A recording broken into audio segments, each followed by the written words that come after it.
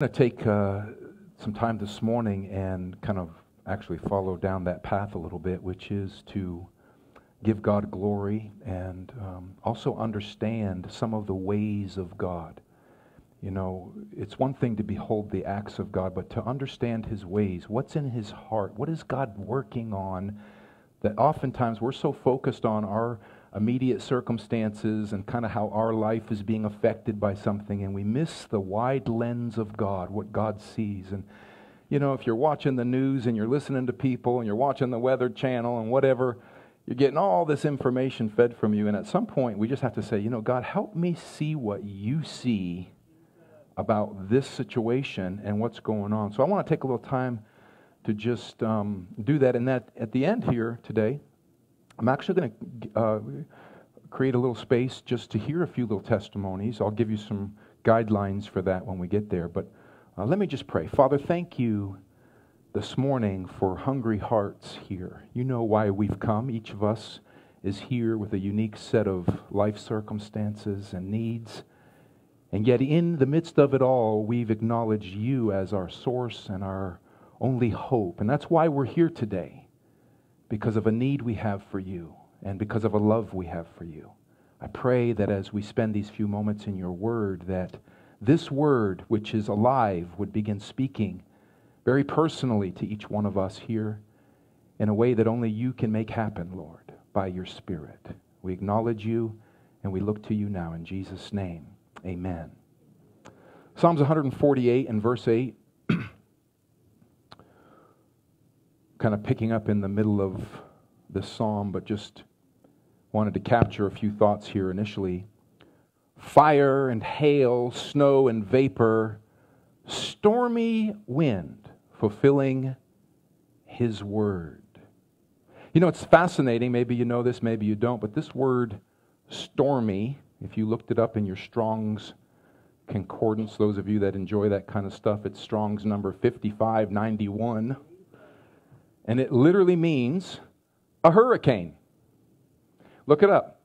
The very first word in the list of definitions, you know, when you use a Strong's Concordance, you often get a whole list of possible meanings to a given word. It could be that much, you know, just a lot of stuff, possible meanings. And the way that is set up is the one that's most commonly used will appear first. The one that's most commonly used will appear first. And then the other ones also can be certain descriptions or definitions given to those words. This word, hurricane, appears first in the list of stormy. So when we're talking about stormy wind fulfilling his word, you can pull it up yourself. The very first word that shows up in the list is the word hurricane. And notice this. Well, so let's just use that word here for our conversation today. Hurricane wind fulfilling his word. How can a wind fulfill God's word or God's will? It's an interesting question. You could get into a lot of deep theological things at this point if you wanted to, which I'm not trying to. Just making a point and let the scripture speak for itself. It's clear here the storm can and often is sent by God to fulfill something God has in mind. Now, I understand destruction and those types of things. We know God didn't come to kill, steal, and destroy, He came to give us life. Amen. But don't ever lose sight of the fact that God is the sovereign God and He rules in the affairs of men. So just hang with me for a little bit. Give me a little space to make a few points, okay? Before you judge me as wrongly interpreting God's motivation. One thing I found about storms is storms tend to uncover things. Remember the testimony Christy shared years ago? I guess it was a Desert Storm or wherever it was when our guys and gals were out there in the Middle East fighting uh, a war, and there was a particular amazing testimony given by a general that happened to be at a conference Christie was at, Pastor Christie was at, and basically, uh, this windstorm had kicked up. They were encamped. A bunch of our soldiers were encamped, and a huge windstorm kicked up, and it was, give, it was wreaking havoc on them. Sand was all in their guns. All of their mechanisms weren't working properly. I mean, it was a mess for them as soldiers, and they were just like distressed by it all. Nothing was working because of the storm. They were hunkered down in their, you know, tents or whatever they had set up there. And uh, they were, uh, you know, you're tempted in moments like that to pray, obviously, but to complain probably too because nothing's working the way you hoped it would. And then in the morning, when they woke up, the wind had blown off a whole landfield mine that was hidden that they would not have seen had the wind not come through. So, moments before, they're complaining to only wake up and find out that God was in the stormy wind fulfilling His word. My personal conviction and my kind of default is I'm always looking for a sovereign God who, in the middle of bad situations, is doing something bigger and better than the situation seems to say. I mean, you could go on and on talking about these kind of things. It's like Jesus hanging on the cross. You know, I, I get it. God is good. But be careful how you define good. God is good, no question about it. And He only does wondrous things, but be careful how you define good. Jesus hanging on the cross was not good if you judged it in the moment it was happening. I mean, if you were standing there looking at Jesus ripped and shredded apart by the sins of the world, hanging on the cross, you'd say, that's not good if you judged it right then. But don't judge a thing before God has his chance to finish a thing. And so many times we're here saying, well, that can't be God because it's not good based on my limited view of what good is. Come on, we got to get a bigger lens. We got to have a bigger God. He's working mightily in the midst of temporary brokenness and temporary dysfunctions and temporary things that don't make sense to us.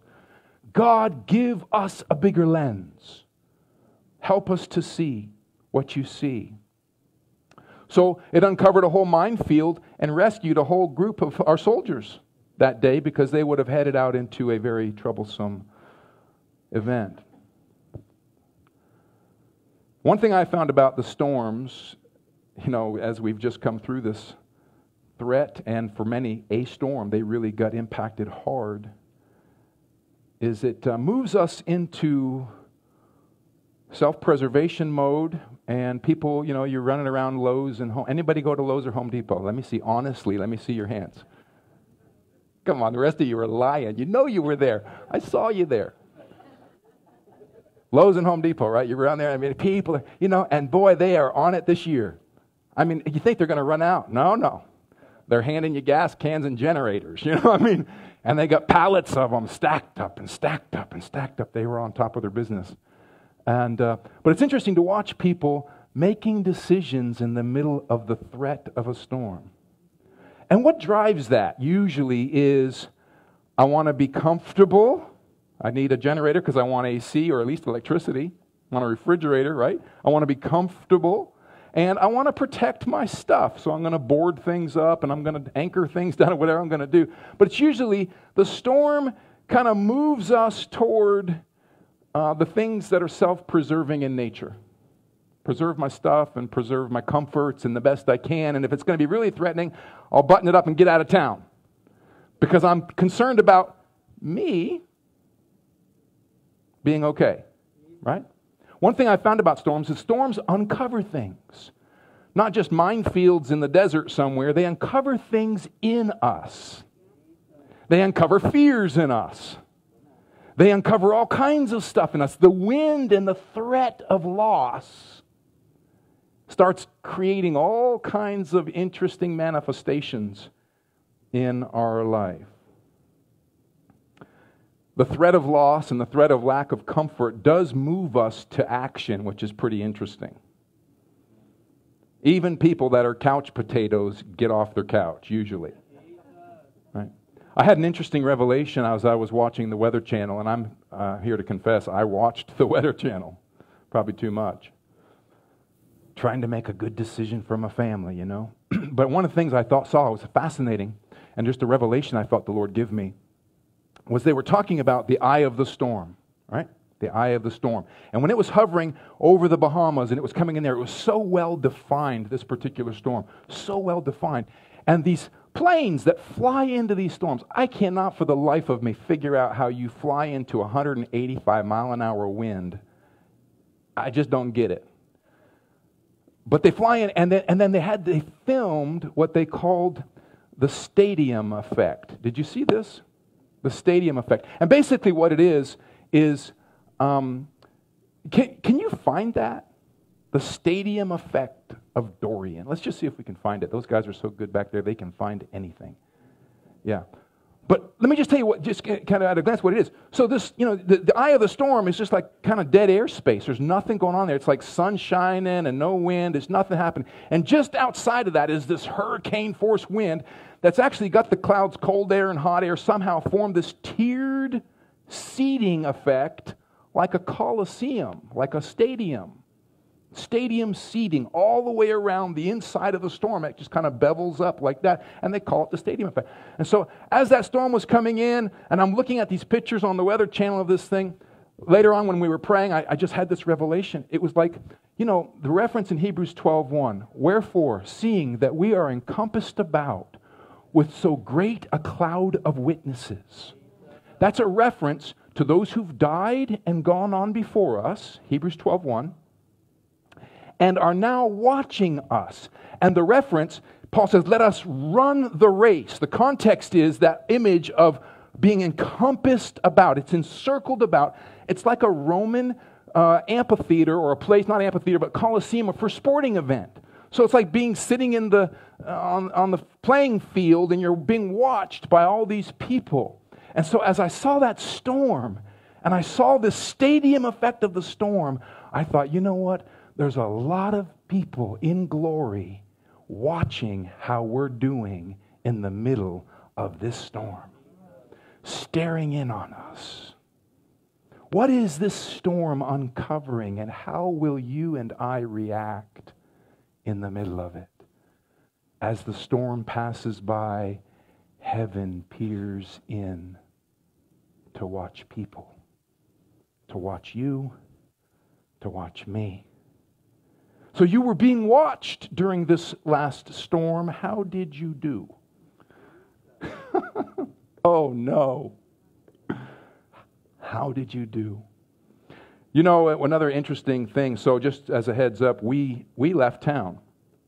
And uh, I made a decision and sent my wife and my mom and my sister to a friend's house in Georgia. I decided to board the place up and I followed after. And by that time, the storm was kind of a mute thing. It was not really going to hit us, but the decision was made, and we were doing what we decided to do. You know, you get into this kind of double minded place. I was in the double minded place way too long. And finally, I just said, Bless God, I'm just going to make a decision. This is what we're going to do. And so we did it, right? So I'm driving up by myself the next day, early the next morning, and I'm in Georgia, hit Savannah. I'm now heading east on 16. And uh, everybody knows the storm is basically offshore now. There's not a huge threat, although, you know, Savannah could still get some weather. We knew that. Did you find it? Yeah, look at that. That's like kind of part of the, the seating, the wall of it. Anyways, you could Google it later and see. You can move that. Thank you. Um, but I'm on 16, and, you know, there's hardly any traffic. And I'm just driving towards where I've sent my family. God bless my family for submitting to their fearless leader. oh, help us, Jesus.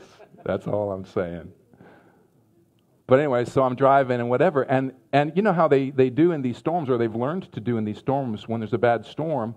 They actually take the other lanes of traffic that are supposed to be heading east and they make them all flow west just to get everybody out of town. You cannot go west to east at a certain point because they shut the roads down. They've learned this the hard way because you get so much congestion on those roads. So they make everything flow in one direction. But there was really no need to. And yet I'm driving. I get on the, the radio thing and, and they say, yeah, at 8 o'clock this morning, all traffic will be heading, you know, heading west. I'm thinking, why? There's hardly no cars on the road. We know the storm is off. You know, what's the deal? And sure enough, police were going up and down the road, setting up their, you know, their flares. And then here comes a helicopter right over the interstate police helicopter. I'm thinking, guys, haven't you been watching the Weather Channel? I mean, what's up, you know? And now I could be wrong, but this is my take on it. My take was these guys were so ramped up and amped up to protect and to save that when the storm was kind of called off, like it's going to pass us, the chief of police or whoever was running the thing said, you know what? This is a great opportunity to practice. That's my opinion. And I, I think he just, you know, I think I'm right. I could be wrong, but I think I'm right. I think he just said, you know what? We're already, come on, we got all the gear out, we got the equipment out, you got your assignments. Just go do it. Let's use it as a drill.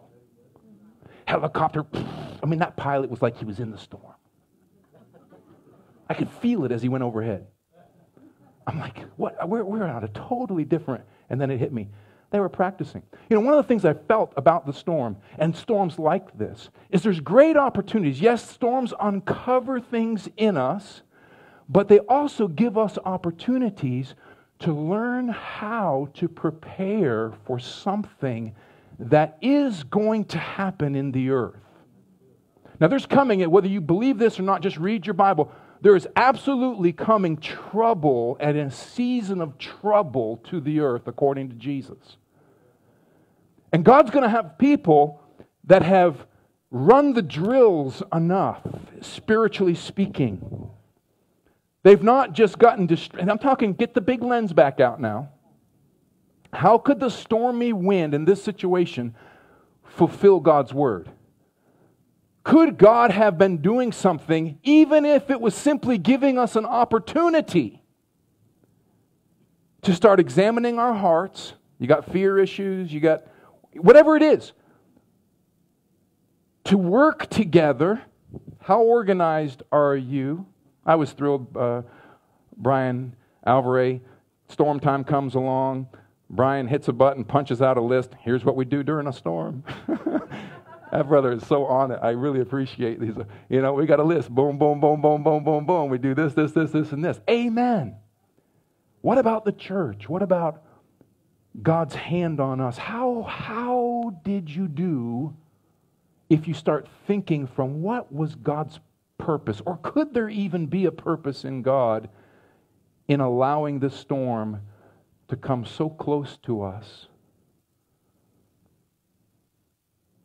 Is he trying to work something in us for something greater? You know, all throughout history, God has been gracious to give foreshadowings of things to come so that when those things actually come, somebody will be present and know what to do in the moment they come. Did you hear what I just said? God has been so gracious to give us repeated, it's what I call progressive duplication progressive duplication, meaning that God is moving to an end. He has an end in mind, something He's going to accomplish in the end. And He progressively repeats what that is over and over throughout history to bring us to the point that when it actually happens, we know what He wants and we're present to do what He wants in that moment. You see, there's going to be a people who are willing in the day of his power. People who are not just heart willing, but they understand what God's after in that moment. Paul says, These things were written for our learning, upon whom the ends of the world have come. Speaking about Israel's history. These things were written as instructions for us upon whom the end of the world has come. Meaning, we're supposed to be learning from the stuff that's gone on before us. Even the three major feasts of Israel, and really you can include all seven if you wanted, were simply rehearsals. They were rehearsals. This is going to be fulfilled one day. And sure enough, the Passover was fulfilled in Jesus. This is going to be fulfilled one day. And sure enough, it was fulfilled at Pentecost. And there's yet this coming fulfillment in the Feast of Tabernacles waiting to happen. But if we, do, if we don't understand what God is looking for, then chances are the storm's going to come, hear me now, and we're going to move into self preservation mode. Wrong choice. You see, God's not going to have a people at that moment who are in self preservation mode. I know I've spoken to it perhaps over in the years, but I love the insights that are included in Matthew 24, where Jesus is coming out of the temple and his disciples are following him, and they're so impressed with Herod's temple, beautiful structure. And they say to him, Master, have you considered the magnitude and the glory of this temple? And Jesus says, Do you see that place? I tell you, not one stone will be left upon the other. And they said, Tell us, when is the end of the world and the sign of your coming? Two different topics. But when is this going to happen? And Jesus goes on to list what? A bunch of problems coming in the earth. Matthew chapter 24, right? Wars, rumors of wars, famine, pestilence, earthquakes in diverse places, betrayal among believers, all kinds of things going on. And then in verse 14, he says this And this gospel of the kingdom will be preached as a witness to all nations, and then the end will come. So here's the idea, the important idea to catch here. All of the troubles Jesus lists are not designed to cause us who believe to go into hibernation. They're designed to create a platform for the preaching of the gospel. You see, where there's war, it's the perfect opportunity to step up onto the stage of history and preach the gospel of peace.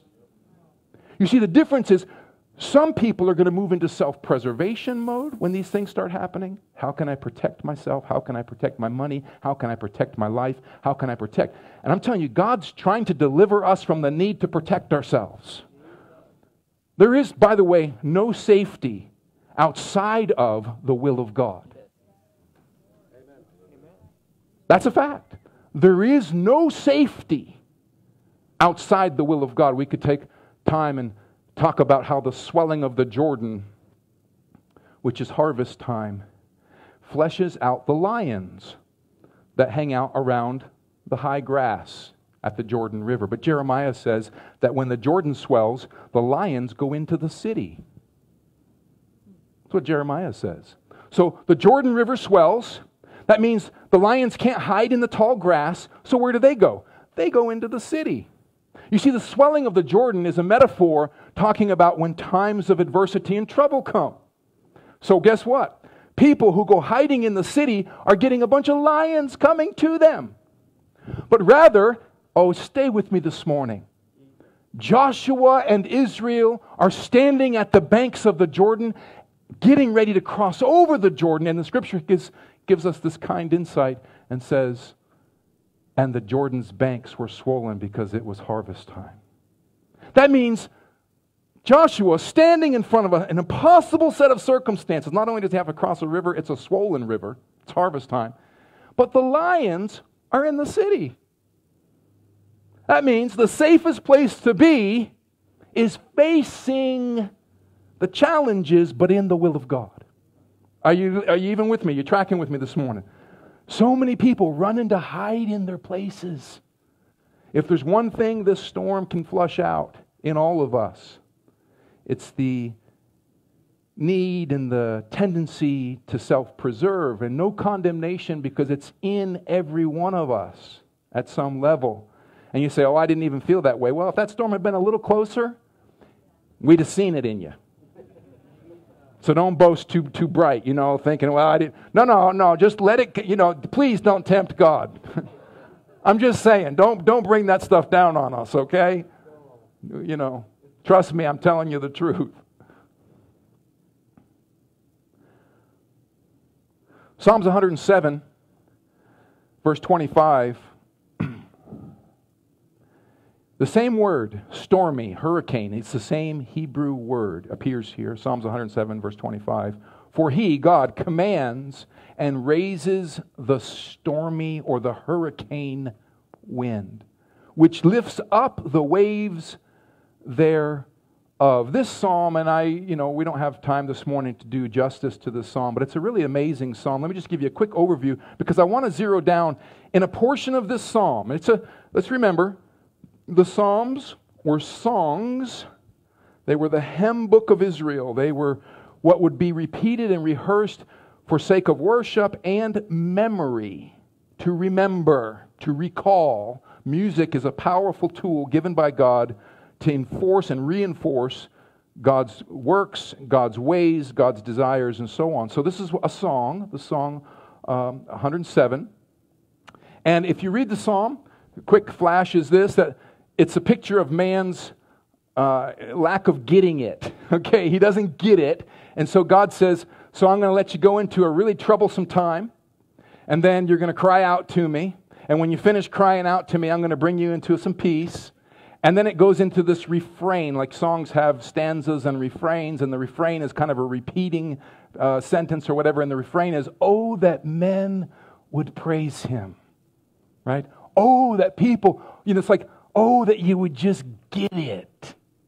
Why is it that we have to go into all this adversity, get all upside down, and then we cry out to God, and then God saves us and brings us into a place of peace? And it repeats this. This is what the psalm is about. It's just repeating this theme over and over again. And every time it gets in there, it, it comes in with this refrain that says, Oh, that men would praise him. Um, it has an ultimate, an ultimate, this psalm has an ultimate um, desire in the heart of God. It's something God's after in this psalm toward us. It's found in the very last verse, verse 43. Whoso is wise and will observe these things. It's talking about the ups and the downs and us crying out and God answering and whatever. Whoso is wise and will observe these things, even they shall understand the loving kindness of the Lord to understand. You see, God is crying out for us to understand the loving kindness of the Lord. The loving kindness of the Lord. Let me read to you just a section of this that's related to the stormy wind, and then I just want to uh, create some opportunities here. I'm going to begin in verse 23. We're in Psalms 127 and verse 23. They that go down to the sea in ships that do business in great waters, these see the works of the Lord and his wonders in the deep. For he commands and raises the stormy wind. Who commanded? He, God, commanded and raised the hurricane wind, which lifts up the waves thereof. They mount up to the heaven, they go down again to the depths. Their soul is melted because of trouble. They reel to and fro and stagger like a drunken man and are at their wits' end. Then they cry unto the Lord in their trouble, and he brings them out of their distresses. He makes the storm a calm, so that the waves thereof are still. Then are they glad because they be quiet. So he brings them unto their desired haven. And here's the refrain again Oh, that men would praise the Lord for his goodness and for his wonderful works to the children of men. And then the conclusion let them exalt him also in the congregation of the people and praise him in the assembly of the elders. This last verse is an important verse. So, you know, just what I finished reading there simply says this those that live by the water, the people that work on the ocean, maritime people, whatever, they get it. They've been in rough seas, they've seen them blown high and huge swells and threatened by all that stuff. They've, they've seen how God intervenes, they understand the principle of storm and calm and crying out to the Lord. And then the psalm ends with this let them exalt him where? In the congregation of the people and praise him in the assembly of the elders. Now, let me just say this this morning, because we're going to do something a little unique today. There are some times God wants to hear from his people in the setting of the congregation. I'm going to say that one more time. There are times when God wants to hear from his people in the setting of his congregation. That is what this verse says. Let them exalt him also in the congregation and praise him in the assembly of the elders. So there are times when God wants to hear these things when we're gathered together. Now, clearly, You should be individually giving thanks to the Lord. You should be always, you know, of a thankful heart and so on. But there are some times, according to the scripture, when God delights to hear thanksgiving in the midst of the congregation. And perhaps you're here today, you're saying, Pastor, with all due respect, I didn't come here to listen to sister so and so or brother so and so ramble on about endless nothing.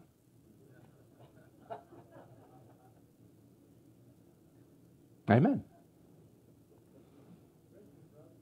Amen. I didn't come to hear all that stuff. I came to be in the presence of God, and I was hoping that the preacher studied and prayed, and he's going to be the one speaking today. And please, do we have to hand the microphone to somebody else? No. I hear a lot of different, you know, things in the Spirit. But today is not about what we came for, but about what we came to give. We want to give God something he deserves today. Now, I'm just going to do this based on the scripture we just read. Let them, what does it say? Exalt him also in the congregation. Let them, that's us, exalt who? Him in the congregation of the people and praise who? Him in the assembly of the elders. So there are some meetings where God wants to hear from us corporately in the midst of the congregation. Now, maybe you don't see that. It's okay. Just run with me today. I think you're going to be blessed by it. Today is not about what we came to get, it's what, about what we came to give. If we miss this opportunity to give thanks to God today, we've missed the opportunity, and it's a big one. You see, God just spared our community devastation. And if we miss the opportunity to give thanks to Him, you know, this is the context of this portion of Scripture. The stormy wind fulfills His word, right? The waves mount up, they come down, they crash, people cry out. God delivers them. Oh, that men would praise Him, right? And then the whole psalm, after it repeats that scenario over and over again, the whole psalm ends with, in the congregation. That's us today. God wants to hear some thanksgiving. I do want to give a couple little outline rules for this because what I'm getting ready to do is I know it's dangerous business. Open the microphone. Oh. Okay.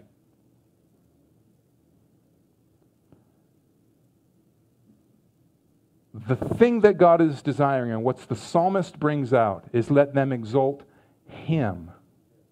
So, what I'm going to ask you to do, if you have something in your heart, a quick praise or thanksgiving. I want to make sure that we're all on the same page here. What we're, what we're looking for today, there's lots of wonderful things you can talk about today, but please narrow it down to these types of things. We want to give thanks and exalt Him. I don't want to know about how well prepared you were. I don't want to know how powerful your generator was. I don't want to know how much water you stored or what a great deal you. Listen, turn it to praise for Him. I don't want to know how smart you were to not leave because I left. Okay? I don't want to hear about that's that, that's exalting you or it's di- diminishing me and I don't want you going there. Okay? I want to talk about exalting him. I want to look for some opportunities and and listen, this is this is something God is longing for to hear from you. Let them not the pastor. Let them exalt him in the congregation. So the rules are them, that's all of us, have opportunity here. Not that you have to get up here by any means, but I'm giving you an opportunity. The rule is to exalt him and to praise him and to lift him up. I have to give a quick praise for somebody who can't be here today. Maybe she's watching online, I don't know. But our dear sister Elaine Hutzel. If you know Elaine, Elaine had open heart surgery some I mean a long time back now. That gal has endured, you don't even know. Goodness gracious, she has been through it, man. And uh, she's a brilliant gal, sharp mind, just a beautiful sister in the Lord. But she's really been through it. So she finally got relocated. I mean, she had all kinds of issues with wounds that wouldn't heal and just stuff she was wrestling through. Wounds are doing better. Her heart's doing fine. She can't walk yet. She's barely can stand up, whatever. So they've moved her here locally, and she's there for therapy. Her feet are still oozing fluids and stuff. She's swollen. She's got a lot of stuff still going on. So please remember her in prayer. And by the way, if you're around and you want to drop in, she's at Quality Health on the island. If you know Elaine, she'd love to see you, I'm sure. So I went to see her the other day after the storm. And uh, she was amazing. I said, so, so what happened? How, you know, how'd you fare? And she said, well, they evacuated us. I said, oh, really? She goes, oh, yeah. They evacuated, because there was mandatory evacuations. You see, the reality is I was the only obedient guy in the whole place. I mean, I'm just saying. You can live under that disobedient stuff all day long, but I'm, I can say before God and men, I've obeyed the ordinances of God and men. You know, just I feel peace.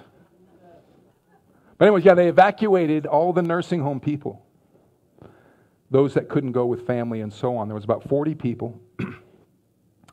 they put them all on a bus and they rolled them three hours to Nashville, Georgia. Does anybody know where Nashville, Georgia is? I had no idea there was a Nashville, Georgia. That's why nobody knows where it is because it's nowhere, I don't think. I think it's just a bump in the wall. But, anyways, Nashville, three hour, three plus hour drive. By the time it came to load Elaine, they had run out of wheelchairs. So Elaine, who, you know, she, she's really just been beaten up through this process for so long, they end up having to manhandle her, get her up on the bus, drag her down the aisle of the bus to get her to a seat. I mean, she's all bruised up just from being handled. They, they, they took her three hours, and you thought you had a bad storm experience. Three hours, she gets there. They have beds on the floor. Their mattresses on the floor. She's, you know, Elaine was Coca Cola's lead process and change development person. That's not an exaggeration. On the international level, Coca Cola. Brilliant gal. Organizer to the nth degree you can imagine the frustration of lack of organization. Nobody had a plan, nobody had a spreadsheet. There was nothing, you know. They were just kind of figuring out as they went. So they had mattresses, and she said, For the life of me, I can't figure it out. They pushed the mattresses together. So to get to a patient, they had to kind of step and wiggle their foot between a mattress and to change people to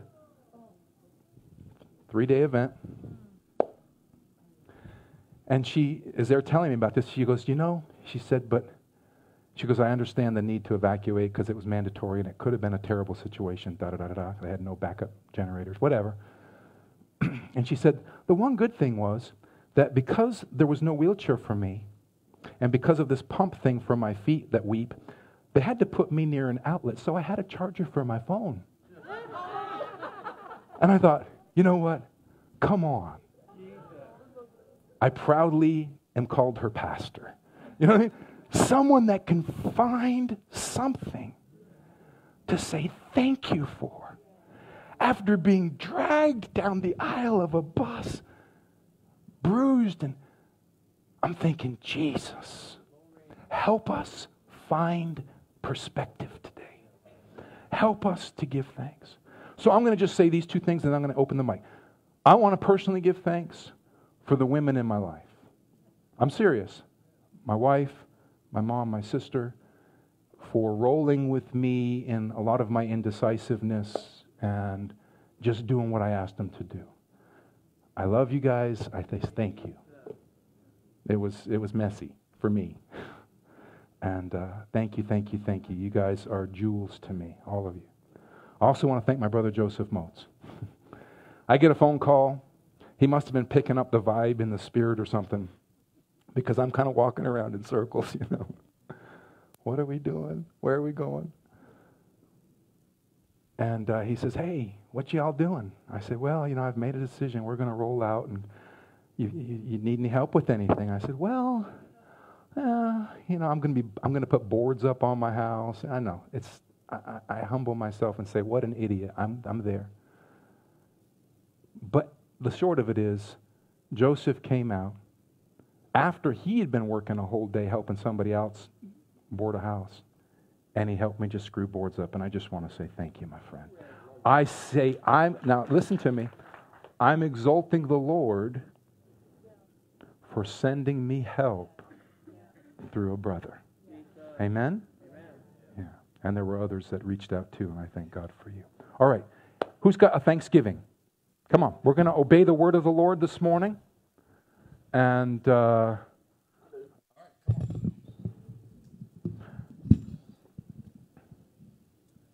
I'm thankful that um, you help me every Sunday. Amen.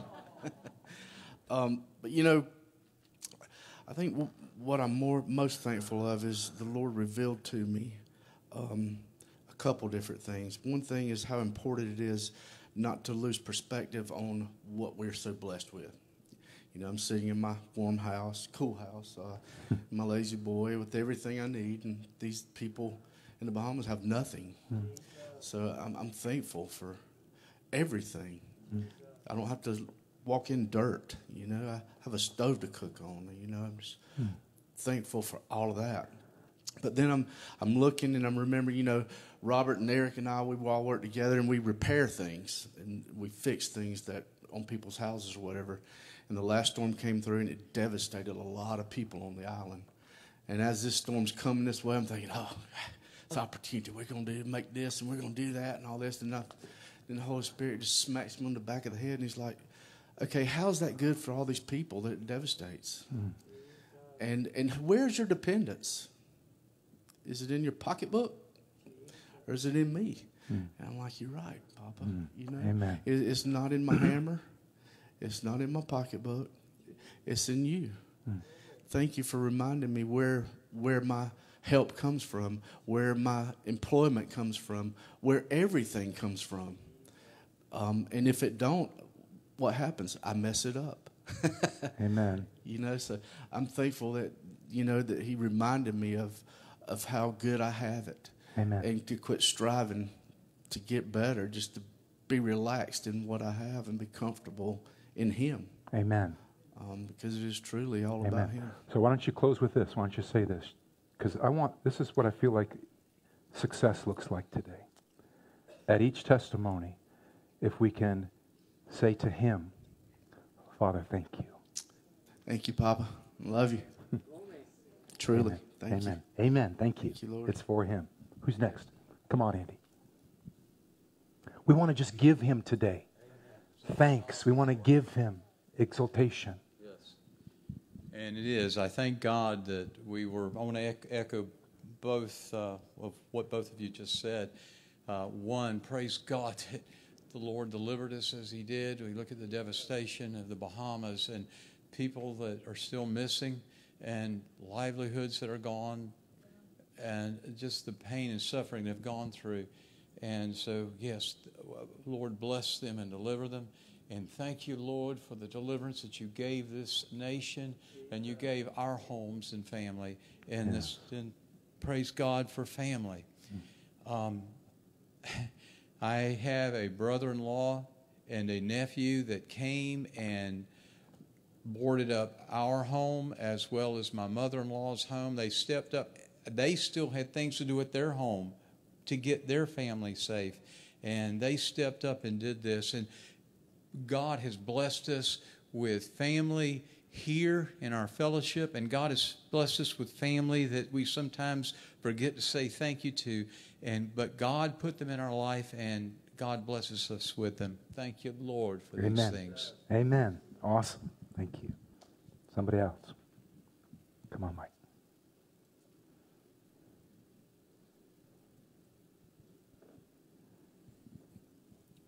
So Rob had mentioned this morning in the prayer room about uh, God's doing a new thing, and shall we not know it? And I was going to send out a text to the intercessors because I felt so about this, which is you can pray to God for mercy, yes, and we should, but there, you can also speak to that storm, which is exactly what, as an intercessor, you learn how to do through Christ. Christ is in you.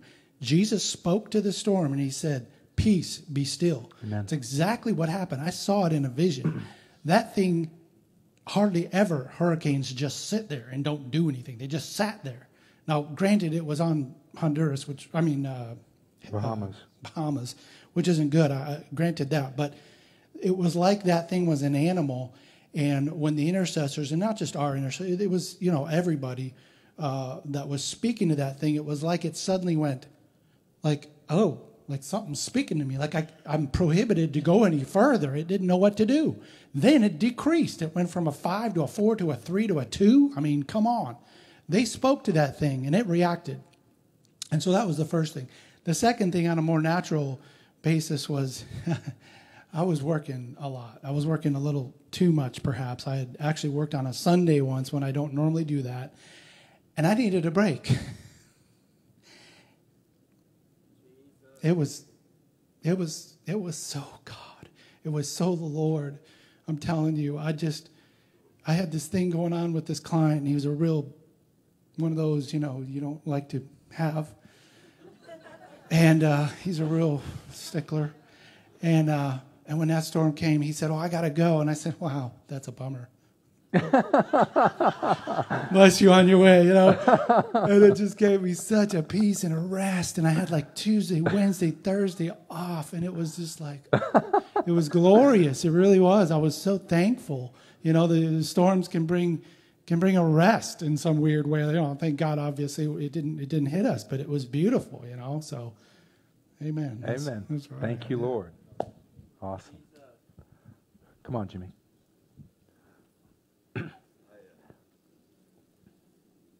I actually uh, I had a like clear picture of what was going on around uh, Tuesday. Um, I was working and I said, Lord, I just, you know, I hear your voice. Your sheep hear your voice. You're not lying. Mm. When you say we hear your voice, we hear your voice. We make an excuse or I wish I could hear God, you know, and that's a lie. You know, I'm gonna say your word is true. I'm I must be the one that's missing it. So anyway, uh, so it was like I hear your voice, Father. What's going on? Uh, nothing. Peace. Not, don't don't even concern yourself with it. So I said, okay. Then Wednesday rolled around, and I'm like, I'd like to have a scripture, Father, or something. You know, I mean, I'm going to tell my family to chill out. I need to have something. So I really, you know, and I just want that, please, mm-hmm. Lord. And so he led me to uh, Isaiah 37, verse 9. I have I've missed it on this before. I, I hear, you know, Jeremiah 16 or something it's destruction is coming, or you know. But anyway, but I had a lot of peace, and I I think He leads us by His peace. True.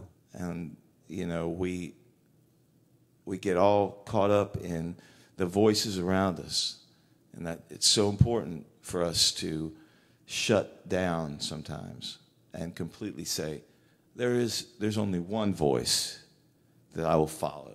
Amen. And every other voice is going to play way down the line. And, they, and so, anyway, I don't want to go too yeah, Let me hold the mic so you can flip pages. Sorry. okay. Okay. Verse 9. Okay. This is talking about when, uh, when Hezekiah was being threatened by the Assyrian army. And, you know, I really don't, I read Isaiah a lot, but not this. I hadn't been in this area very often, so I don't even didn't really remember it. But he said, uh, "Thus says the Lord: Do not be afraid because of the words you have heard, which the young men of the king of Assyria have reviled me. Behold, I will put a spirit in him, so that he shall hear a rumor." and return to his own land. Um, skip ahead to 33. Uh, basically, he said, I'm having a hard time. Hallelujah. I'd hand you my glasses, but I don't have them. uh, anyway, yeah, I got the big print right here.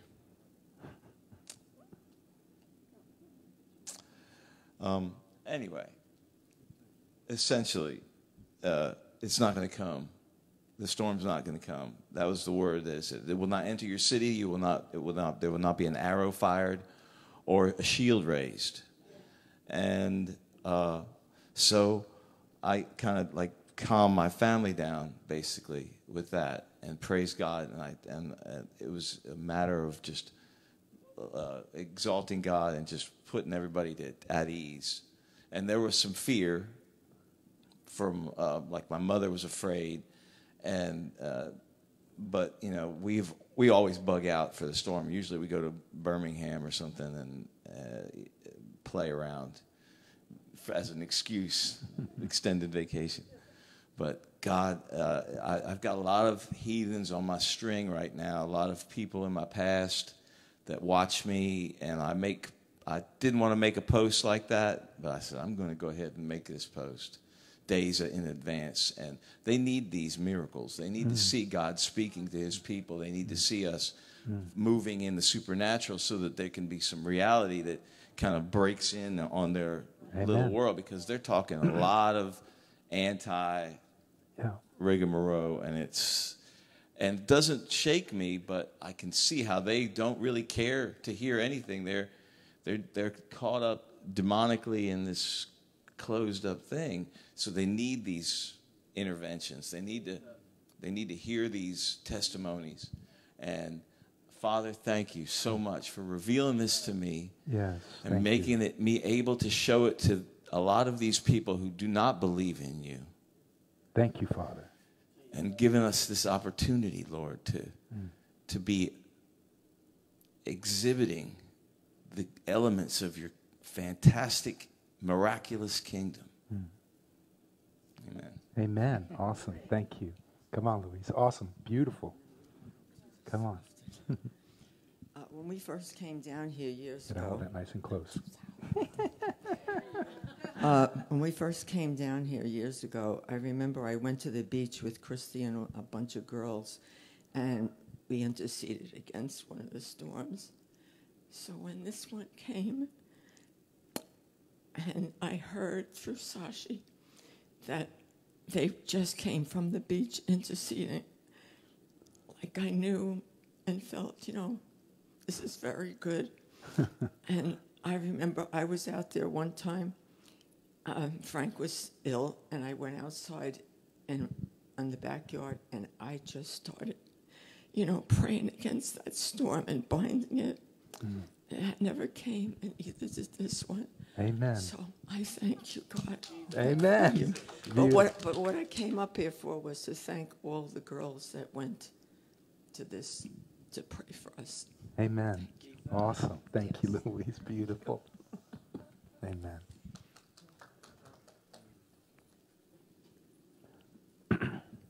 I want to thank God for the family of God statewide in Florida coming together uh, through corporate prayer on the phone every night. There would be um, uh, what do you call uh, conference calls with different leaders in every county and every city along the, the coastline. And it was just an honor to be able to join in with them. And there was such a, uh, it was such a faith builder.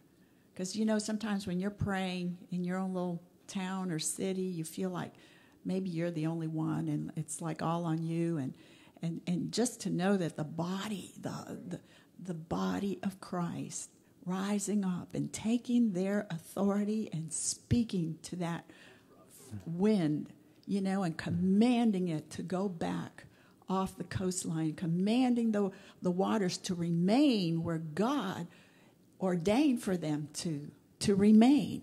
And so, and, and then just, just to, I don't know, I, I just thank God for that opportunity. And, and I believe that it, it is, um, uh, as we do that more and more, it's, it's bringing the whole body, not just our little body here, but we're so interconnected all through this state. I'm just talking about the state of Florida because, you know, and, and of course, Georgia and Carolinas, but wherever God puts you, that's where He's given you authority to walk in and to command um, wherever He sends you. So anyway. I I just uh, I was very honored and I was just thrilled and very encouraged in the spirit to know that we you know we're all it was like a, a shield all the way up the coastline uh, of believers speaking the same thing. Amen. Amen. Awesome. Okay. Yeah. I just, um, I'll keep it short, but I do believe this is a very special thing for us to do. So I just, I just want to turn it into a prayer. Amen. So Father, I just want to praise you and thank you for the peace that passes all understanding. Lord, you just, I know that I experienced in my mind all the things that was going through of what we need to do and how to be wise. But deep inside, you have given us a peace that goes with us through your Holy Spirit, that we can, in the storm, have the peace, and out of the storm, have the peace. Thank you for the gifts that you give us that cannot be revoked. Thank you that wherever we go, that peace goes with us, Lord. So I just want to thank you for that peace that doesn't make any sense in our mind, but deep down in our spirit, we can just have that peace. Thank you. Amen. Awesome. Um,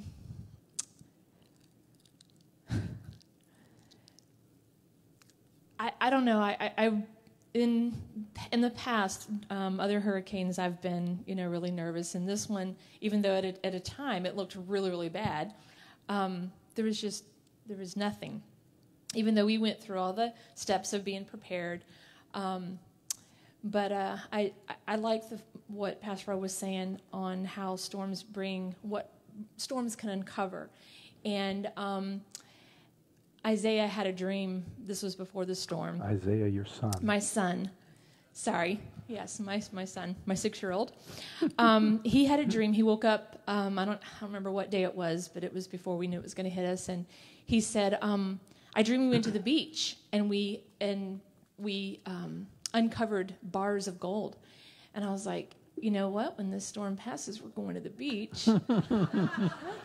and we did and he was disappointed because he he didn't find any bars of gold.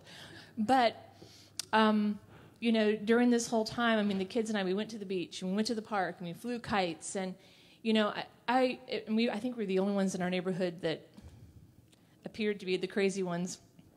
But um, what rose up in, in my spirit was how how we are what we're doing in the midst of the storm, and we're still allowing the joy of the Lord to to be expressed, and um, we're not walking around in fear. We're not hiding out, um, which I know there's you know in the natural. I mean, we've got to be wise and all that, but um, but being wise doesn't be, mean being fearful, and um, so we we enjoyed our time and we um, you know we got the hurricane snacks and the, the whole hurricane party thing. Um, and you know but fear was not fear was not there. It was not um, an issue for us. And um, and we know that when storms come when the trials and the tribulations of life it can bring out the worst and the best.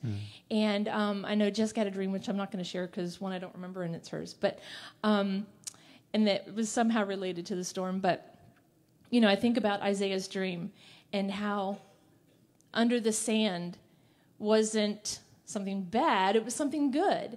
And so if we allow that if we allow those things that, that god permits in our life it can produce the gold Right. you know so i just thank you lord i thank you for joy and fear being defeated in jesus Amen. name Awesome. Beautiful. Okay.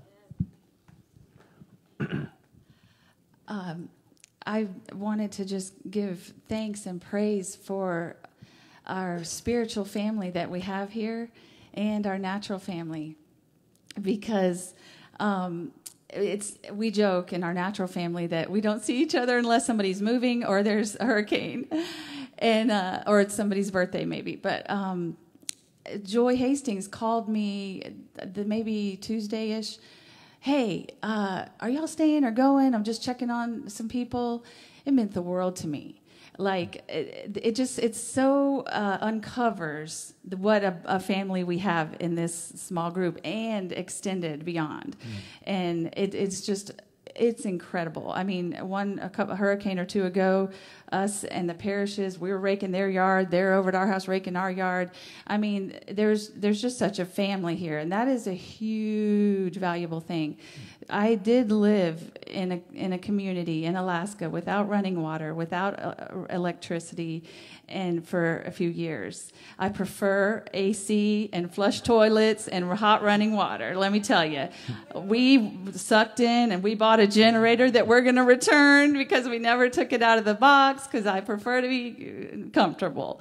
But God, it was so faithful. And one morning, you know, like I don't know, Monday-ish or Sunday, I don't remember, but I, I couldn't sleep and so it's literally like 1:30 a.m. and I can't sleep. And so all I'm doing, I'm watching the news, the weather and stuff.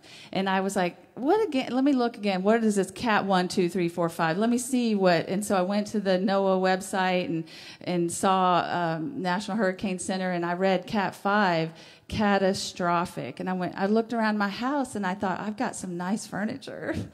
I've got some nice stuff that was inher- I inherited. It wasn't at IKEA. You know, I mean, this is some heirloom stuff and you can't replace it. And I was like, gosh, I don't want to have to like literally just have the clothes on my back. But if I have to, I have to. And it was weird because during the storm, the preparation, I kept feeling like, yeah like I did, I kept, am I just crazy? Mm. Should I be like, this could literally, we may not have a house for real, like for real.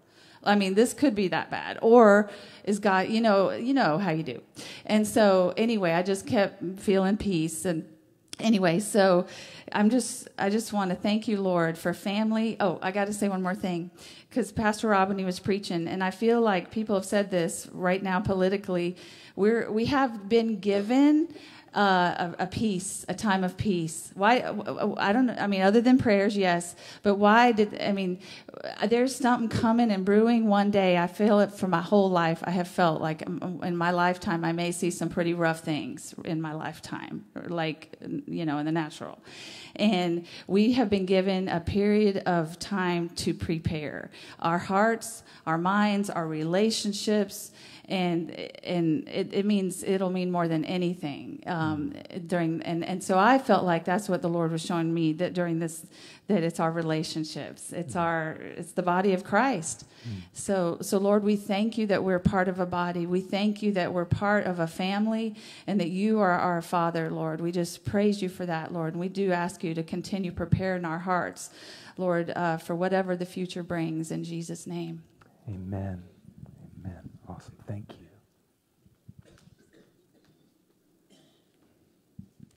Well, I felt like a ping pong ball. it was category five, it was category. They kept changing everything. And I really don't pay attention to those things most of the time because it can freak you out. But then I got a call that did freak me out. It's like, you know, you got to get out of here. I'm thinking, I wasn't planning on going anywhere. So, anyway, the bottom line is I I, I decided I was going to get out before it got really bad because last time I waited till the last second when we really did have some problems and I couldn't even leave Florida. I had to go to uh, Atlanta, Georgia. So I said, I'm just going to go ahead of time. So I did that. And I asked my uh, nephew to help me out because he's very good at getting good deals and stuff like that. So we did that. And I just really felt like God really gave me peace that I should go. And I did. And it was just amazing. I mean, it seems like lately the last several years. I never get out on time with the airlines. They're always like hours behind, something always going on. That was exactly on schedule. Coming, exactly on schedule, coming back. Uh, my neighbors seeing me go said, you know, what's going on? Are you evacuating? You know, people showing care and people calling me to find out what I was doing or texting me what I was doing. And it was just really special just having that, knowing there were people there and God showing me, I'm watching over you. Amen. And, you know, maybe I didn't need to go, but you know, I did need to go. I, I, I just felt physically, emotionally exhausted, and it was I felt like I got renewed being up there, and it was really special. So I was very thankful. Amen. Thanks be to God. Yeah. Amen. Awesome. Okay. Somebody else? Okay, well, you, two- you both of you snoozed for a second, and, and somebody jumped in. So, boom, and then boom. Mm. Well, I was thankful for a governor who, back in March, April, was in Israel. He prayed that we'd have a safe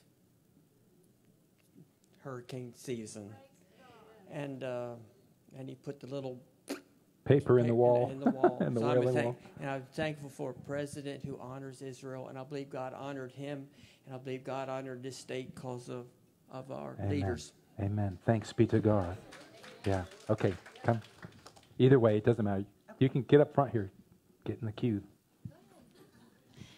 I've just been listening, and one of the um, things that Pastor Robin spoke about uh, the storms. And for those of you who know us, we feel like we've been in a spiritual hurricane for several years. And it just, when this storm was coming in the natural, we don't really get too shaken up. You worry about your my mother because my father recently passed away. So you you think about those people that aren't able to maybe take care of themselves. And um, my sister in law is very a huge scaredy cat. And that's where we ended up going was to um, Uvalde, a little bit like Nashville, Georgia. Nobody knows where it is. And um, so there, we we went up there, and um, you know we.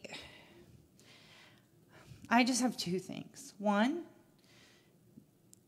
God's faithful. Um, you know, whether your life looks like you thought it was going to look or not, God is faithful. Amen. And we have watched the body of Christ reach out to us um, after years of walking away. And I mean, do some miraculous things. Uh, my husband lost his son. We had no financial way, no way to get to New Jersey. Uh, and we just had someone, a friend of ours that Raymond's known for years and years and years, but he walks with God now. And just show up and say, no, no, no, no, no, you're going. Oh, no, no, no, he's not just going, you're going with him. And it just, we watched the hand of God be so faithful. And during this storm, you were talking about the peace. And uh, my sister-in-law, like I said, is very scary. And I got woke up one morning about 6.30, and I just wanted to worship the Lord. So I went and sat on the porch. It was really nice up there. And we didn't get any yucky weather. And I just worshiped. And something happened. I just, I don't even know. It just was the joy of the Lord. It just fell in the midst of worshiping. And it just, you know, was me and my silly dog. And I went in, and my sister in law was awake. And of course, we watched the Weather Channel like nonstop. And she was just terrified of what she was going to come home to, basically. And um, man, I just began to tell her, I felt like, which I used to do preschool, so I felt like this teacher, and I just had all these Bible stories that God was giving me about Jesus sleeping in the boat in the midst of the storm. And I've heard so many people say that, so I just wanted to, that apparently was God's hmm. underline, just peace. Because I thought, well, if you're not afraid, I'm not afraid. And if I'm not afraid, whatever's in me, you've given to her because she knows the Lord. Hmm. And I'm just telling you, God used the storm to bring peace to her, to bring joy to me, hmm. which has been a long time coming. Hmm. Thank So I thank you for your faithfulness, Father. Even in the midst of all the storms of our life, God, you are never far away. You are right there. And I thank you for that. Amen. Awesome. Beautiful. Come. Amen. So I just want to say that I'm thankful that I know the one whose name is known by the wind and the waves. His name is Jesus. He has yet to have failed me. He has not failed me once. He did not fail me this time. And I just want to say that I, I'm a caretaker and I have a client, and um, she has a fear of storms, a bad fear of storms, horrible fear of storms. And she, but she didn't want to leave her house. You know, she didn't want to leave her house, and she didn't want to leave her house. And I finally had to make the decision because I'm the only one down here. She only has one nephew who lives in Milwaukee that she's related to. And I had to call him and say, look, we got to get her out of here. I mean, she has a fear of storms. She's got to go. She cannot be here. I don't care if the wind blows through the trees, this woman starts hysterically crying. This is not a good thing. So, anyway, I want you to know that the Lord on Saturday night, no, it was Friday night, it was Friday night, I called between him and me. We found flights for her on Saturday. We found a flight for me. I got on the same flight with her. I took her to Atlanta. I stayed an hour. I put her on the next flight to Milwaukee. Then, at two hours later, I got on another flight and I came back here. It was the most beautiful thing I've ever seen the Lord orchestrate in my entire life. There was nobody in security when we had to pass through that thing. Everybody was gone. Then we were looking around like going, where is everybody? And they're like, oh, they came through really early this morning. You, you were like the last people we're going to see today. I mean, it was gorgeous. It was beautiful. Anyway, so she's gone, right? So that's good. She's happy. She's in Milwaukee doing her thing. So then I got to help another client of mine who um, their caregiver decided not to show up, so I got to work that day. So I worked on Monday, and then I came home on Tuesday, on Monday. I came on on Monday, and I looked at my mom and I said, "Are we going? Are we leaving? Are we packed?" She goes, "Why would I be leaving?" I'm like, "Oh my God, I love you." okay? I love like minded Christians, okay? We're not leaving, we're staying. So we stayed. And let me tell you, um, Lily and Amanda went to Jacksonville. So my mom and I had 48 hours alone to enjoy one another. We had a wonderful time. Um, I'll be honest with you, my hurricane preparation after my busy, busy week consisted of donuts Klondike bars, red wine because I needed to anoint the four corners of the house, and two cases, no, three cases of water. One for my mom, one for me, and one for the dog. So that was it.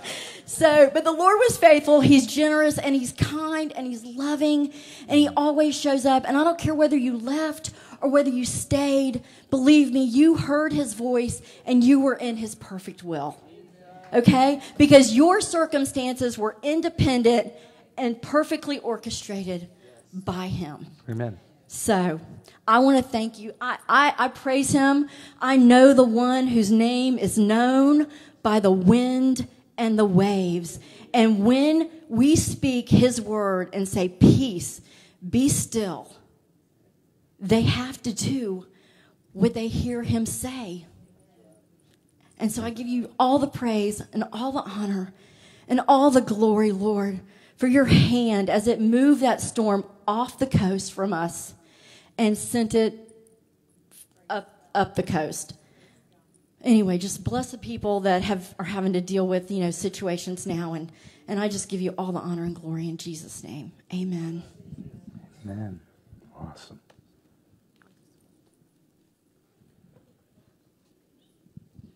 I just want to confess that um, I was all set to stay. I was prepared.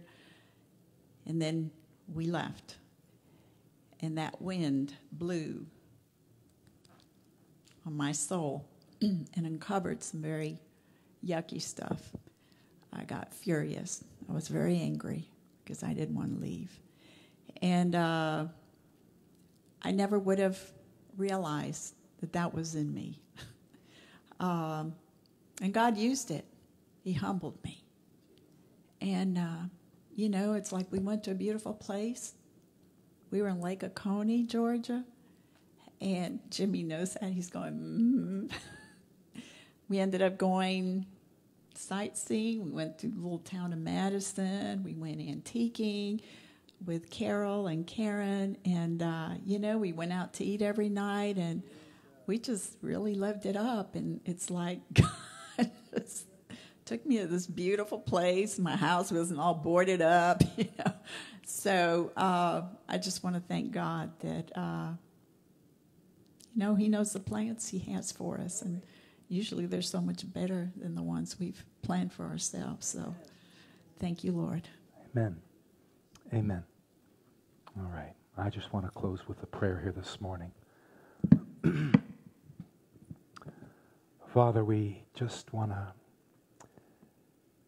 in its kind of raw state. This is us, Lord, here today. Above it all, just wanting to say thanks to you. Lord, you've heard in the midst of the congregation, right here, collectively, publicly, unashamedly, our testimonies and our gratitude for your interventions. God, I pray that what's happened here this morning would not just be an event, but it would become more and more a way of life for us, Lord, that we would be full of thanksgiving, always seeing the good things you're doing, even in the midst of difficult situations. I thank you for your blessing upon us and that you would make us contagious, peculiar. You said we are a peculiar people, a chosen generation who stand as lights in a dark world. I thank you, Holy Spirit, that as we become more and more at peace and have joy and have confidence and, and hear your word and demonstrate what you're saying, that the world would look on us and long to know you. That's our prayer today. We love you and we bless you.